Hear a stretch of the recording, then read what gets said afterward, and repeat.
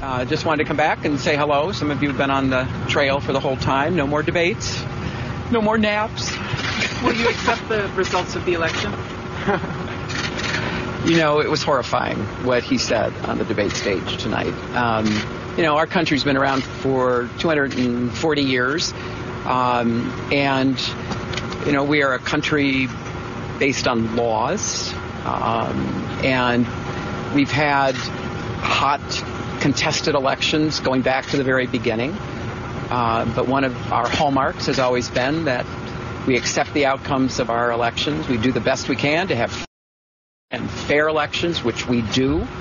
Uh, and somebody wins and somebody loses. Uh, so what he said tonight is part of his whole effort to blame somebody else for his campaign and for where he stands in this election. As I said, uh, whenever he is losing, he says the system, whatever the system is, whether it's uh, you know being in court about Trump University or losing the Iowa caucus and the Wisconsin primary or losing Emmys for goodness sakes, he says that it's rigged against him.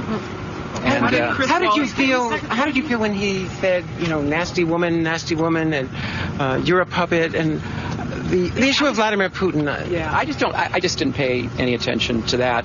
I was very concerned that even now, after 17 intelligence agencies in our government, uh, both uh, military and civilian, have confirmed that Russia has engaged in uh, cyber attacks against uh, Americans, that he refused to admit that it's true and condemn it uh, for what it is, which is a blatant uh, effort to try to interfere in our elections. What you WikiLeaks go from your praise for Goldman Sachs bankers to uh, Podesta calling Bernie Sanders a doofus will make it harder for you, if you win, to rally the liberal base around your agenda and your appointment? Not at all.